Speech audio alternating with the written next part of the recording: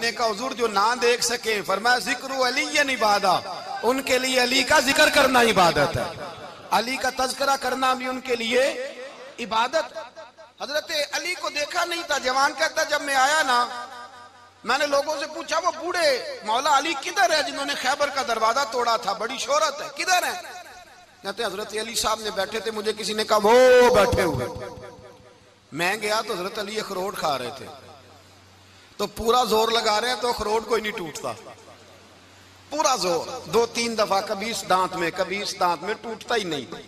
कहते मैं हंसने लगा। तो हज़रत अली ने मुझे पास बुलाया, कहा बेटे, इधर आ। तो मैं गया तो कहने लगे, क्या सोच रहा है? कहते, मैं डर गया। मैंने कहा, हजूर, कुछ भी नहीं। लेकिन नहीं नहीं, जो सोच रहा था तू बता। मैंने कहा, नहीं, कुछ नहीं। पर मानने लगे, मैं बताऊँ तो क्या सोच रहा था? बताऊँ का हजूर, बताइए। आप फरमाने लगे, तू सोच रहा था बाबे से अखरोट तो टूटता नहीं, खैबर कैसे तोड़ दिया था? तू सोच रहा था कि इससे अखरोट तो टूटता नहीं तो खैबर कैसे तोड़ा था? फरमाते हैं, मैंने कहा, मैं यही सोच रहा था, ये जब अर्ज़ किया ना तो फरमाते हैं, शेर खुदा का रंग ही बदल गया। पहले मुस्कुरा रहे थे, फिर अंदाज बदल गया। उन्होंने अपने मुँह से, वो जो खरोट लगा था, झाड़ा, हाथ यूँ झाड़े, इमामा सीधा किया और फरमाते शेर खुदा बन के बैठ गए। कहने लगे, बेटे, अखरोट को छोड़।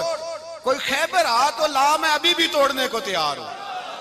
खैबर कोई है तो ला, मैं अभी भी तोड़ने को दीवारें हिलती रहती हैं और दर काँप जाता है। अली का नाम सुन के अब भी खैबर काँप जाता है।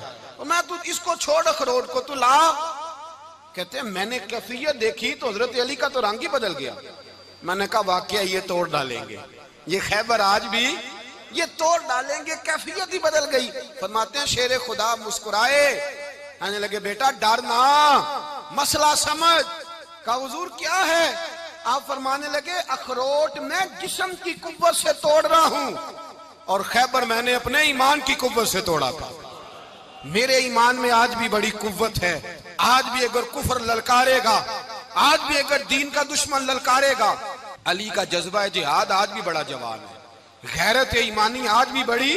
दीन के साथ वफा का रिश्ता आज भी बड़ा। मेरा जवान है तो बता, कोई खैबर तोड़ना है तो। हज़रत अली, शेर खुदा, हर जगह कुर्बानी हज़रत अली की। जब मदीने में ना हजूर ने सबको अनसार और महाजरीन को भाई भाई बना दिया तो हज़रत अली चुप करके खड़े हैं। हजूर ने फरमाया, क्या सोच रहे हो? का हजूर, मुझे भी तो किसी का भाई बनाए ना। हजूर ने फरमाया, अंत अखीफ दुनिया वाला आखिरा। तो दुनिया में भी मेरा भाई है, आखिरत में भी मेरा भाई है। इमाम राज़ी ने लिखी है एक बात, बड़ी बड़ी अजीब बात लिखी। इमाम राज़ी कहते हैं, ज़मीन पे नबी पाक ने हज़रत अली को भाई बनाया था तो आसमानों पे जबरील अमीन ने हज़रत मीकाइल को भाई बना लिया। तो रब करीम ने पूछा, क्यों भाई बन गए हो? कब तेरे महबूब का जलवा देख के बन गए? जिस रात नबी पाक सल्लल्लाहु अलैहि वसल्लम हिजरत करके आए ना एक को हजूर ने साथ ले लिया, अमीरुल मोमिनीन हज़रत अबू बकर सिद्दीक। अबू बकर दा पहला नंबर। पहला नंबर किसका है? दूसरा, तीसरा, चौथा। ये सबक बच्चों को याद कराएँ। अब हमारे लोग मसले भी कवालों से पूछने लग गए। फतवा भी कवाल का चलता है, अल्लाह खैर करे। हज़रत अबू बकर सिद्दीक को हजूर ने साथ ले लिया, हिजरत की रात और मौला अली शेर खुदा को बिस्तर पे सुलाया। रस्ते में भी बड़ा खतरा था, पर बिस्तर पे उससे ज़्यादा खतरा था। इसलिए कि जब चादर में लिपटा हुआ कोई शख्स है तो किसी को क्या पता कौन है? अगर आके वो पर्दा ना हटाते, ऐसे ही कत्ल कर देते तो क्या पुरसाने हाल होता? कुछ भी ना होता। इमाम राज़ी कहते हैं, रब करीम ने फरमाया, जिब्राइल, मीकाइल। तुम दोनों कहते थे, हम भी भाई भाई बन गए बताओ तुम में से कोई एक दूसरे पे जान कुर्बान करेगा? करेगा जान। फरिश्ते खामोश हो गए तो रब ने फरमाया, अब नीचे जरा जलवे तो देखो, अली मेरे रसूल पे जान कुर्बान कर रहा है। जाओ देखो ना जाके जलवे, तुम तो भाई भाई बने थे। तो फरिश्ते अर्ज़ करने लगे, मौला, हमारी ड्यूटी क्या है? फरमाया, अब तुम्हारी ड्यूटी है कि तुम जाओ ज़मीन पे। दो तलवारें ले लो और अली की चारपाई के ऊपर खड़े हो जाओ। उसने मेरे मुस्तफ़ा पे जान कुर्बान की है, उसकी जान की हिफाजत करो। वहाँ खड़े हो जाओ, खड़े हो जाओ। फरिश्ते भी करते हैं ताजीम मेरी। फिदा हो के उन पर यह इज़्ज़त मिली है। हज़रत शेर खुदा, मौला अली, हर मैदान में अव्वल, हर जंग में पहल। असाबिकून साबिकून ओलाइकल मुकर्रबून। अल्लाह फरमाता सबकत लेने वाले सबकत ले गए। आगे गुजरने वाले आगे गुजर गए। और यही लोग हैं जिन्हें रब का कुर्ब नसीब हुआ। हज़रत अली ने मकान नहीं बनाया सारी ज़िंदगी। मकान नहीं बनाया। कोई कारोबार नहीं किया सारी उम्र। अब इस पहलू पे भी जरा गौर करें। हज़रत अली रज़ी अल्लाह तुमने कोई बैंक बैलेंस नहीं बनाया। सियाब कराम वाली मुरिदवान फरमाते हैं बड़े बड़े रिश्ते आए सैदा फातिमा के लिए। बड़े बड़े अमीर, कबीर लोगों। हुजूर ने फरमाया, मैं रब के फैसले का इंतज़ार कर रहा हूँ। एक दिन तीनों यार इन लोगों का खुलूस देखे मौला अली के साथ। हज़रत अबू बकर, हज़रत उमर, हज़रत उस्मान। हज़रत अली एक यहूदी के बाग में मजदूरी कर रहे थे तो वहाँ गए। और जाके कहा, अली, तू हजूर से सैयदा फातिमा का रिश्ता क्यों नहीं तलब करता? तो हज़रत अली कहने लगे, भाइयों, ना मकान है, ना घर है, ना कुछ है, रिश्ता कैसे मांग? लू कहा, तू जा तो सही। हमें तो लगता है रसूल पाक तेरा इंतज़ार कर रहे हैं। मौला अली शेर खुदा कहते मैं गया मैं गया। और जब मैं हजूर की बारगाह में गया तो इन्होंने मुझे तैयार थे ना, तैयार करके भेजा। मुझे लफज भी सिखाए क्या कहने हैं। लेकिन जब मैं वहाँ पहुँचा ना तो मेरे अंदर ताकत ही खत्म हो गई बोलने की। सलाम लेके तो हजूर के पास बैठ गया। हजूर ने मैं अली, कैसे आए हो? तो मैं खामोश। फिर पूछा, कैसे हो? मैं खामोश। फिर पूछा, कैसे हो? मैं खामोश। कहते, दिलों का हाल जानने वाले रसूल ने फरमाया, अली फातिमा के लिए आए हो। फातिमा के लिए आए हो? तो हज़रत अली कहते हैं मेरा जवाब बड़ा निराला है। मैंने कहा, हजूर, वो तीनों मेरे पास बाग में गए थे। वो तीनों गए थे, मुझे उन्होंने भेजा है। कहते, रसूल पाक मुस्कुरा दिए। फरमाया, अली, उन्होंने नहीं तुझे भेजा। रब करीम ने फातिमा का तेरे साथ निकाह कर दिया है। तेरे लिए फैसला हो गया है फातिमा का। तेरे हक में फैसला हो गया। हज़रत अली सैयदा फातिमा को ब्याह के ले गए तो हज़रत जैद बिन हारसा के मकान में। कोई मकान नहीं। ओ भाई, तू दौलत देख के बेटी की शादी करता है, सरमाया देख के फिर दुआ कराता है, दुआ करें, अल्लाह मेरे दामाद को हिदायत दे दे। मेरे रसूल ने बेटी की शादी की तकवा देख के, परहेजगारी देख के, दीनदारी देख के उस शख्स को बेटी दी जो साबिकून साबिकून के दर्जे में शामिल। जो इन वामिल कौम खैरुल बरिया के दर्जे में शामिल। उनको अपनी बेटी दी। हज़रत अली शेर खुदा रदी अल्लाह तनो फरमाते कि सैदा फातमा तजारा को मैं ब्याह के लाया। सारे घर के काम हज़रत फातिमा ने किए। मैं मजदूरी करता दो घंटा या डेढ़ घंटा। ज़ोर से असर के दरमियान काम करते। दो किलो खजूरें मिली तो मौला अली ने उठा के अपनी कमर पे रखी। बाग का मालिक कहने लगा, अली, थोड़ा काम और कर लो, फरमाया, दो किलो हो गई बड़ी हैं। एक किलो मेरे बच्चे खाएँगे, एक किलो मदीने के गरीब बच्चे खाएँगे। तो काली कल क्या करोगे? फरमाया, कल जो रब ज़िंदगी देगा, वो रोजी भी देगा। तो बंदा मशवरा देने लगा। मशवरा भी होता है ना करीब से। मशवरों वाले भी बड़ी खराबी करते हैं, इल्ला माशाल्लाह। का अली, जायज़ पैसे तो इकट्ठे कर लेने चाहिए, क्या अर्ज़ है? जायज़ जायज़ इकट्ठे कर लें तो शेर खुदा ने एक जुमला कहा पर शेरों जैसा कह दिया।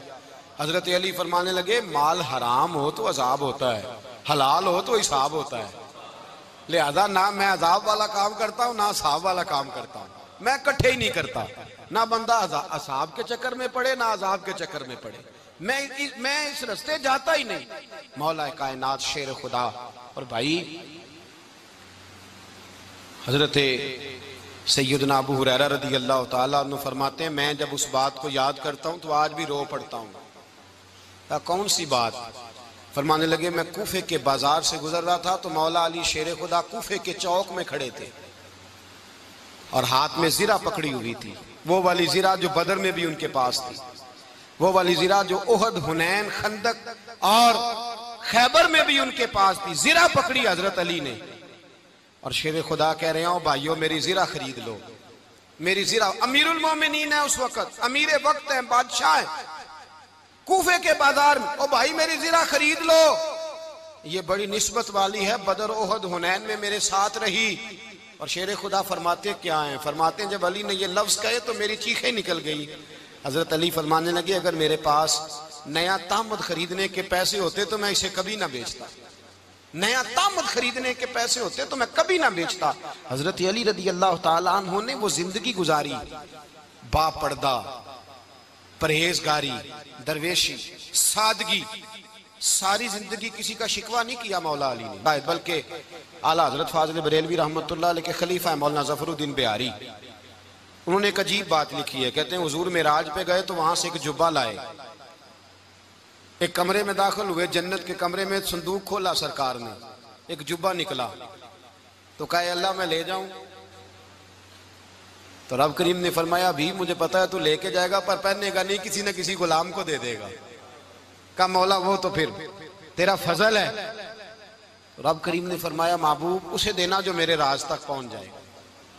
उसको देना जो मेरे, उसको देना जो मेरे राज तक पहुँचे। हुजूर जुब्बा लेके आए। अलामा बिहारी रहमा लिखते हैं कि नबी पाक वसल्लम ने हज़रत बकर सिद्दीक को बुलाया, फरमाया, जुब्बा बड़ी बरकत वाला है। इसे पहनकर बड़ी बरकत मिलेगी। अगर मैं तुझे दे दूँ, ये जुब्बा अगर तुझे दे दूँ तो क्या करेगा? तो हज़रत अबू बकर कहने लगे, हजूर, सारी दुनिया में सच फैला दूँगा। हजूर ने फरमाया, नहीं तो अल्लाह के राज तक नहीं पहुँचा। हज़रत उमर को बुलाया। का फारूक आज़म अगर आपको दे दूँ तो का हजूर अदल से भर दूँगा सारी कायनात। फरमाया, बात तेरी ठीक है, पर राजे इलाही तक नहीं पहुँचा। उस्मान अगर तुम्हें दूँ तो। जनाब उस्मान गनी रज़ी अल्लाह तर्ज करने लगे, हजूर, अगर मुझे मिला तो मैं हया की छाव कर दूँगा। हर जवान, हर बच्ची के लिए हया के फैसले करूँगा, अल्लाह ताला की दी हुई ताकत से। हजूर ने फरमाया, बात तेरी बड़ी खूब है, पर तू मुराद तक नहीं पहुँचा। मेरे रसूल ने मौला अली को बुलाया, पास बिठाया। फरमाया, अली, अगर ये जुब्बा तुझे दूँ तो क्या करेगा? हज़रत अली ने आँख खोल के हजूर का चेहरा देखा। अर्ज़ करने लगे, महबूबा, अगर मुझे मिल गया तो मैं अल्लाह की मखलूक की पर्दा पोशी करूँगा। मैं रब की मखलूक की मैं पर्दे डालूँगा मखलूक के पर, मैं छुपाऊँगा इस जुब्बे की बरकत से। हजूर की आँखों में आँसू आए, पर मैं तू रब के राज तक पहुँचा है, जुब्बा तेरा ही बनता है। तू पहुँचा अल्लाह के राज तक। मेरे हबीब करीम, सैयद आलम वसल्लम की खिदमत में कुछ लोग आए। का हजूर अली ने सख्ती की है हम पर?